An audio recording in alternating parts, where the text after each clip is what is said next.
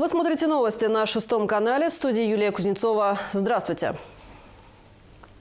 Один человек погиб, 19 получили травмы, среди них двое несовершеннолетних. Такова печальная статистика ДТП на дорогах области за эти выходные. Самой распространенной причиной аварии стал выезд на встречную полосу. Из-за этого на территории региона произошло 6 ДТП. ГИБДД рекомендует быть осторожнее на дорогах, выбирать скорость движения, учитывая погодные условия. Самая серьезная авария этих выходных случилась на автодороге Владимир Гусь-Хрустальный Тума. На 33-м километре трассы 13 января в 7 15 водитель 72 года рождения, управляя Маздой 6, вылетел на встречку. В авто находилось трое пассажиров. На встречке машина врезалась в автомобиль Мазда 2. За рулем был водитель 64 года рождения. От столкновения автомобиля покорежило так, что выбираться из машин пострадавшим пришлось с помощью спасателей.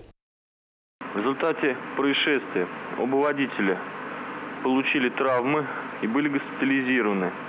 Кроме этого, травмы несовместимой с жизнью получил пассажир автомашины Mazda-6, женщина 1974 года рождения. Также еще два пассажира, находящихся в салоне автомашины Mazda-6 1999 и 1998 годов рождения, э, будут проходить амбулаторное лечение.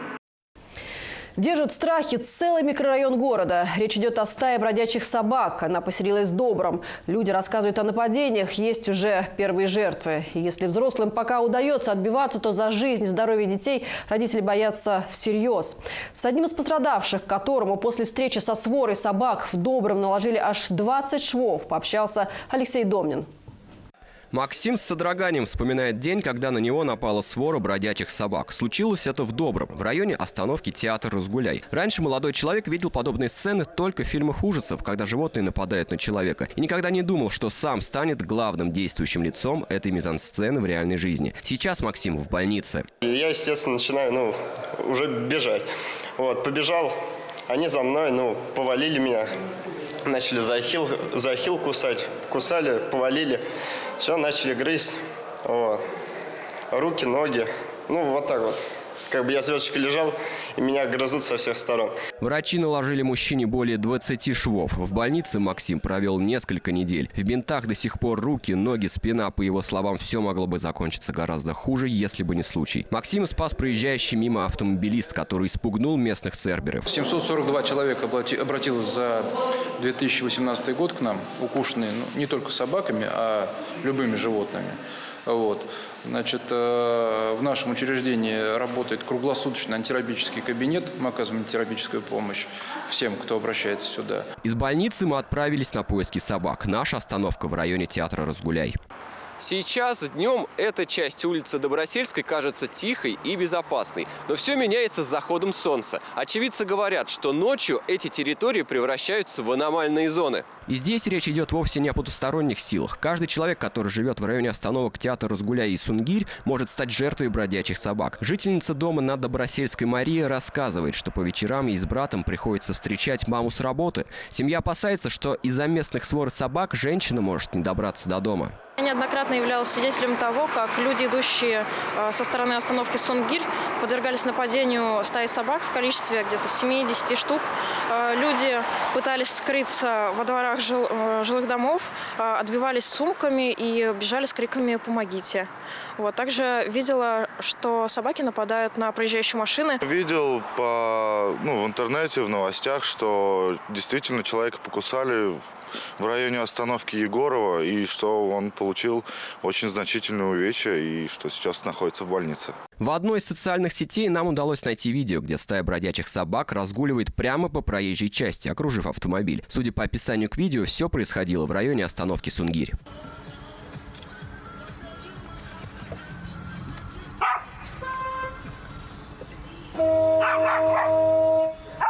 Если в подобной ситуации оказывается взрослый, спасти есть шанс. Хотя, как показывает пример нашего героя Максима, не без посторонней помощи. Но ведь в этом спальном районе очень много детей, и каждый день они ходят в школу, и некоторых из них не провожают родители и бабушки. Получается, жизнь каждого школьника в этом микрорайоне в опасности. Особенно если речь идет о детях, которые учатся во вторую смену и возвращаются домой в темноте. Как раз, когда свора выходит на охоту. Собаки не маленькие, крупные. То есть, если человек вот втроем нападут, то запросто завалить могут. Целый стаи собак, в количестве, наверное, 10 штук, бежали за машиной. Очень страшно. Надо их как-то каким-то образом, наверное, отлавливать. В нашем городе отлов бродячих собак контролирует администрация. Чиновники заключают контракт с организацией по отлову потенциально опасных животных. Как же работает этот механизм? Этот вопрос мы адресовали ответственным лицам. По словам чиновников, в данный момент ведется открытый аукцион на заключение муниципального контракта по отлову и содержанию бездомных животных. Но это вовсе не значит, что до момента заключения контракта, то есть в течение первых недель января, никто э, этой темой не занимается. Заключен управлением жилищно-коммунального хозяйства администрации города Владимира временный контракт с компанией ООО «Амест» на производство соответствующих работ. Поэтому вы можете обращаться по телефону 46 42 40, а это диспетчерская этой компании. При этом представители администрации города уточнили, что сотрудники этой организации обязаны в течение суток отреагировать на вызов и произвести необходимые работы по отлову. Также, по словам чиновников, граждане могут обратиться в управление ЖКХ администрации города Владимира по телефону 33 27 77. А мы, в свою очередь, просим специалистов по отлову бродячих животных разобраться со сворой бездомных собак, которые держат в страхе целый микрорайон города. Алексей Домнин, Егор Хрыбко, шестой канал. Во Владимире болеют корью. Пока острое инфекционное заболевание официально подтвердилось у троих. Это жители областного центра и села Сновица Суздальского района. Но медики и сотрудники регионального Роспотребнадзора не исключают, что заболевших будет больше. Инкубационный период заболевания около двух недель, а первые признаки напоминают простуду и грипп. Поэтому все, кто контактировал с больными, пока находятся в зоне риска. В каких случаях можно заболеть, как обезопасить себя и близких, и что делать, если у вас все же корь, разбиралась Маргарита Махрова. Трое детей заболели корью во Владимире в поселке Сновицы Суздальского района. Такую официальную статистику приводит региональный Роспотребнадзор. Сейчас ограничительные меры введены в двух образовательных учреждениях – Владимирской школе номер 22 и по приказу директора школы в Сновицах. Там усилили меры дезинфекции помещений и временно ограничили прием новичков, которые раньше не болели корью и не прививались. Предположительно, что первый случай у нас привозной из ближнего зарубежья. В частности, это Азербайджанская республика. Территория Владимирской области довольно довольно долго была благоприятной по заболеванию кори. У нас много лет не фиксировалось вообще заболеваний. Однако весной прошлого года мы имели вспышку кори к сожалению. В прошлом году в марте официально корью переболели 15 человек. Большинство – дети. К счастью, массового распространения заболевания удалось избежать. Передается корь воздушно-капельным путем и очень заразно. Если не прививался и не болел раньше, шанс заразиться почти стопроцентный. Начальные симптомы кори легко спутать с простудой или гриппом. В первые несколько дней у человека повышается температура, начинает болеть горло, появляется кашель, слезятся глаза. Затем начинаются характерные красные высыпания на теле, с головы до ног. Чтобы больной перестал быть заразным, с момента появления сыпи должно пройти не менее пяти дней. Инкубационный период у кори длинный – от 9 до 21 дня. По самым последним данным, только в одной из владимирских семей переболели сразу четыре человека. На данный момент у меня болеет а, младшая дочь. А, старшая дочка и сын уже вылечились, но пока на карантине дома остаются. А, им надо последний анализ сдать. И я болею, но в принципе уже вылечилась, хорошо себя чувствую, тоже остались анализы. Все дети в семье, кроме младшей дочки, были привиты. А Татьяна болела курью в детстве, и болезнь прошла быстро. Сейчас к семье ежедневно приходит педиатр, а специалисты проверяют список контактировавших лиц. Врачи поясняют, случаи заболевания после прививки возможны. Тогда корь протекает в облегченной форме и осложнения маловероятны. Вакцина же по-прежнему остается, пожалуй, единственным способом не заразиться корью или легче перенести заболевание. Даже если есть очаг кори, кто-то в семье заболел корью, то в течение 72 часов мы можем привить э, остальных членов семьи, дабы чтобы они не заболели корью. Выходить на улицу можно. Изолируется только больной корью, будь то взрослый или ребенок. Он остается дома, вызывается врач и назначается терапия. Не все с корью госпитализируются в стационар. То есть мы чаще наблюдали легкие и средне-тяжелые формы, которые могут лечиться дома. К слову, основная причина возвращения кори в регион – большое количество отказов от вакцинации. Хотя прививками стараются охватить большинство населения. Свои лично э, не помню уже прививки. Детям прививались. Угу. Детям, конечно, по прививали графику, по времени, по как положено. Ну вот по календарю прививки. Да, да, да. да как да. вообще считаете, нужно прививаться? Да, конечно, что... нужно. А почему? Ну, иммунитет, чтобы вырабатывался. Вы лично прививались от кори? Конечно. А когда? Вот в детстве? Ну, в детстве, я не помню. А вообще считаете, как нужно прививаться, не нужно? Я, я считаю, что надо обязательно. Я все привиты, все, у всех прививки, как положено. Главная причина отказа от вакцинации, по словам специалистов, религиозные убеждения или кочевой образ жизни. По правилам детей нужно прививать дважды в 12 месяцев и в 6 лет, если нет медицинских противопоказаний. Взрослые, которые прививались всего раз в детстве, тоже нуждаются в ревакцинации. А если не помнишь, болел корью или нет, можно сдать анализ крови на наличие антител к заболеванию. К слову, напряженная ситуация с корью сейчас во многих странах мира, особенно в Украине, Греции, Сербии и Грузии. Поэтому люди, которые планируют поездки туда, должны сделать прививку не менее чем за две недели. Пройти вакцинацию все желающие могут в медучреждениях по месту жительства. Маргарита Махрова, Александр Мажаров, Шестой канал. Струинский скандал разгорелся с новой силы. Региональных и федеральных СМИ обсуждают речь в Рио первого зама губернатора Марины Чекуновой. 11 января чиновница провела рабочую встречу с медперсоналом печально известной Струинской больницы. Кроме в Рио первого вице-губернатора по социальной политике обсудить проблемы медицины в Александровский район приехал новый начальник областного департамента здравоохранения. Обсуждали на рабочей встрече с медперсоналом будущее корпуса поликлиники, который находится в плачевном состоянии. Внимание некоторых журналистов привлекла речь в Рио первого зама губернатора о том, что требовать улучшений в работе заведения нужно не только от властей, но и от врачей. Надо посмотреть еще и на себя. Занавесочки на окнах, как они висят, какой чистоты они, когда, помыли, когда мылись окна в последний раз, как моются полы, есть ли бахилы. Если нужны бесплатные бахилы, давайте мы обеспечим вам бесплатные бахилы. А о чем? Когда, мы- да, когда уже есть возможность прийти, чтобы обслужили, все будет нормально. Но вы сделаете тогда ремонт, поставьте, и будет нам стыдно будет повесить грязные занавески, если у нас не будет такого потолка. Я согласна. В настоящий момент проходит обследование Ну этого вот, здания. проходит, и будем говорить после этого обследования. Пресс-службе Белого дома отвечают, что встреча с медперсоналом проходила в рамках диалога, не на повышенных тонах. Наводить порядок в больнице Чекунова вызвалась сама. На 19 января в Струнино запланирован субботник с участием в Рио первого зама губернатора и директора департамента здравоохранения. А что касается ремонта корпуса взрослой поликлиники, для него сейчас разрабатывают проектно-сметную документацию. В 2012 году на ремонт больничного городка в Струнино уже выделили 25 миллионов рублей. Другой важной темой встречи стал дефицит медицинских кадров. Чекунова заявила, что только на днях узнала, что в области есть медколледж, и в нем в большей степени обучаются не владимирские студенты, а жители других регионов. В Рио первого зама губернатора обещала разобраться в этой ситуации. Понимаете, вот э, вы обращаетесь ко мне таким образом, что э, как бы я золотая рыбка, я должна сделать вам все. Ну и власть.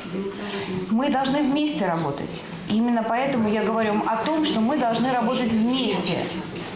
Поэтому на сегодняшний день вот эта ситуация со средним медицинским персоналом, она тоже входит в зону нашего внимания, жесткого контроля. Дополнительный квиток, но плата прежняя. Владимир Водоканал объявил об окончании договора с единым информационным расчетным центром.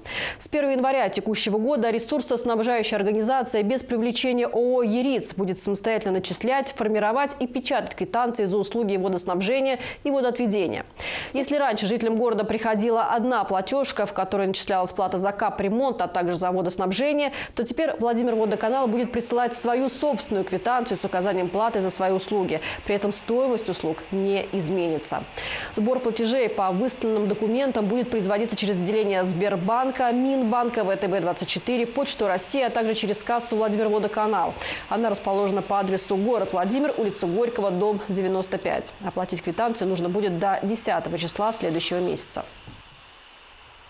Мы допускаем, что, возможно, будут какие-то приходить ошибки, да, ошибочные квитанции, во-первых, э, по начислению, допустим, сколько проживает население, да, по показаниям приборов учета, но опасаться ничего не стоит, можно сообщить по нашим многоканальным телефонам или просто обратиться через электронную почту и э, ну, рассказать свои показания. За молодежь Владимирской области теперь будет отвечать Александр Кожевников. Он назначен председателем Комитета по молодежной политике областной администрации. Распоряжение об этом подписал губернатор Сипягин. Из плюсов Кожевников местный, родился во Владимире и по возрасту еще относится к молодежи. Он 90-го года рождения. Выучился на юриста, до армии успел поработать в отделе аналитики Юрьев-Польского мясокомбината и правовым инспектором труда в областном объединении профсоюзов. После службы в вооруженных силах, работал юрисконсультом предприятия «Охрана», которое сначала подчинялось полиции, а теперь Росгвардии. Последнее место работы Кожевникова – департамент по труду и занятости администрации Владимирской области. В комитет по молодежной политике Кожевников пришел на место Алисы Абрамовой, которая явно симпатизировала Светлане Орловой. Как только та проиграла на выборах, Абрамова написала заявление на увольнение. Контракт с ней был расторгнут еще при прежнем губернаторе. Далее коротко еще о некоторых значимых событиях этого дня. Коврове на пожаре спасли из огня женщину-инвалида. ЧП произошло 14 января. В 12.40 в службу спасения позвонили взволнованные прохожие и сообщили, что из квартиры жилого дома по улице Комсомольской на девятом этаже идет дым. Пожарные выехали на место незамедлительные. К их приезду на балконе квартиры уже бушевало открытое пламя. Соседи сообщили, что внутри находится женщина-инвалид, которой не удалось покинуть квартиру. Огнеборцы вскрыли жилище, быстро нашли пострадавшую, вынесли из огня и передали врачам. В это время пламя уже перекинулась на балкон соседней квартиры. Пожарным удалось справиться с огнем, не дав ему распространиться по всей площади квартиры. В результате общая площадь пожара составила 20 квадратных метров. Предварительная причина возгорания – неосторожное обращение с огнем при курении.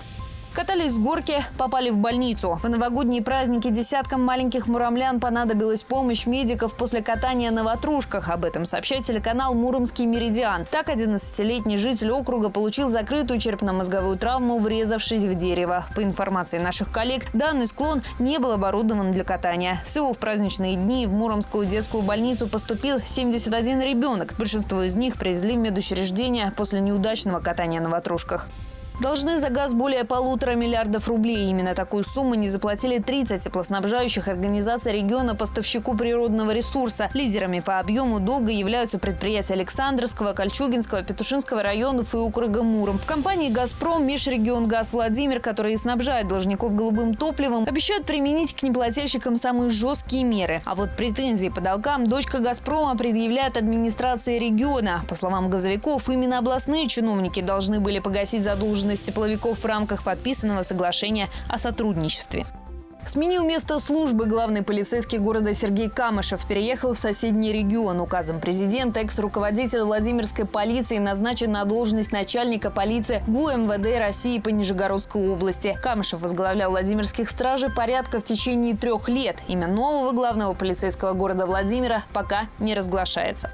Стал чемпионом страны. Ковровский бильярдист Антон Виноградов признан лучшим на первенстве России по комбинированной пирамиде. Турнир проходил в Казани в начале января. Принимали в нем участие юноши до 16 лет. Гражданская активность. Премию под таким названием сегодня впервые вручали во Владимире. Ее обладателями стали активисты некоммерческих организаций. Всего их у нас около 170, но выбрали 17, которые в прошлом году работали всех активнее. В будущем руководство города обещает не только премии, но и увеличение грантов для НКО. Тему продолжат мои коллеги. На выставке в ДКМ игрушки, поделки из бисера, картины и покрывала. Все эти вещи сделали активистки некоммерческих организаций города Владимира. На столе организации «Покров семьи» куклы, сделанные своими руками и брошюры о важности материнства. Активисты этого объединения помогают в покрове матерям-одиночкам и семьям, оказавшимся в сложной жизненной ситуации. Во Владимир приехали, чтобы рассказать о себе и показать свое творчество. Мы эм, э, работаем в направлении получения грантов, э, потому что движение как бы ширится, активность э, переходит на новый уровень.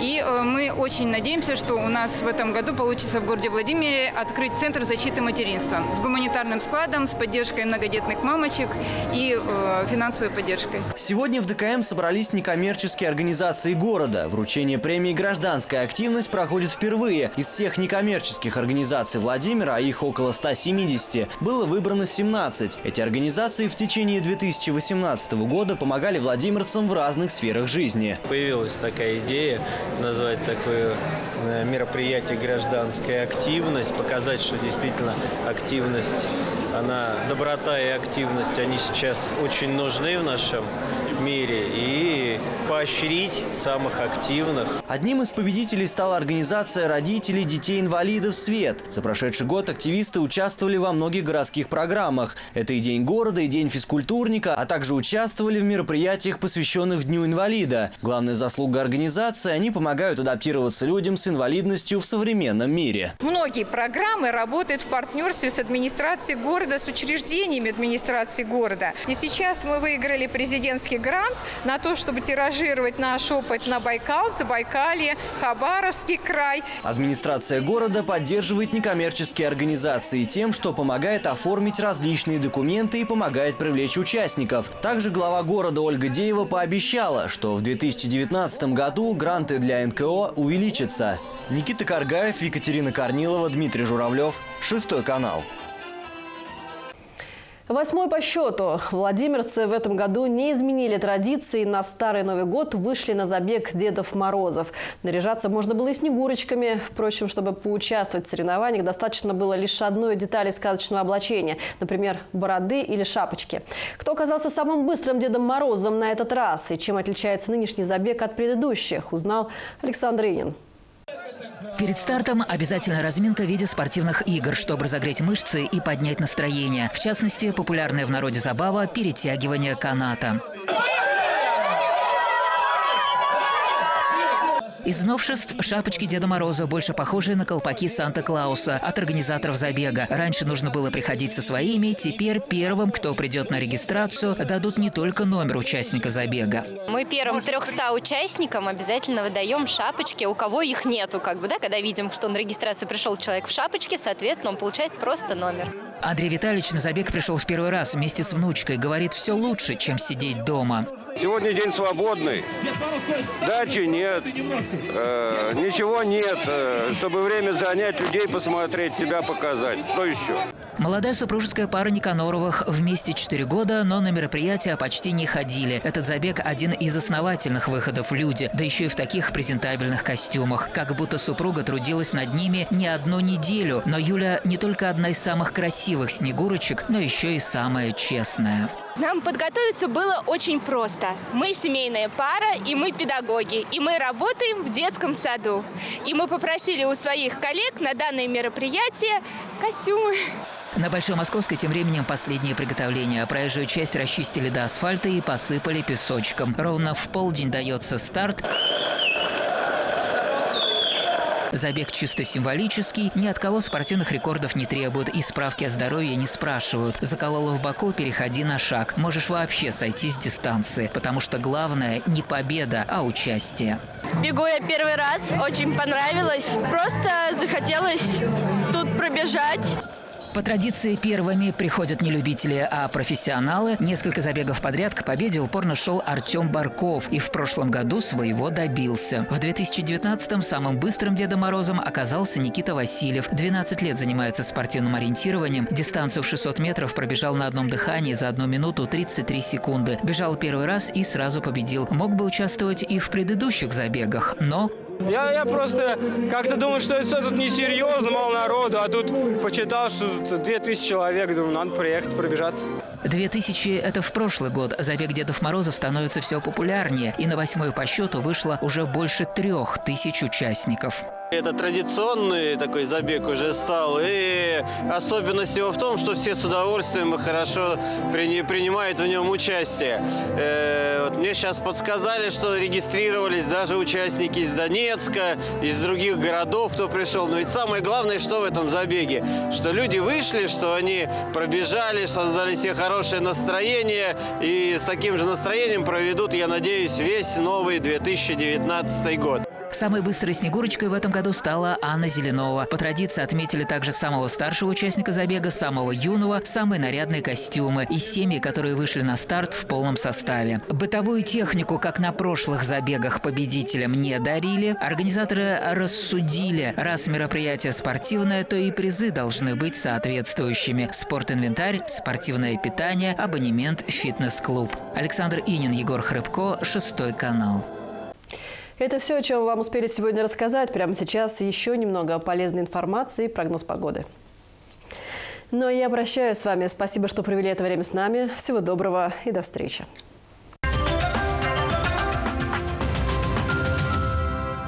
Сегодня ночью в Владимире будет малооблачно и без осадков. Столбики термометров покажут минус 11, минус 13 градусов. По прогнозам синоптиков, завтра будет пасмурно, днем выпадет снег. Температура воздуха составит 12-14 градусов ниже нуля. Ветер юго-западный до 9 метров в секунду. Атмосферное давление 752 миллиметра ртутного столба. Влажность воздуха составит 82%.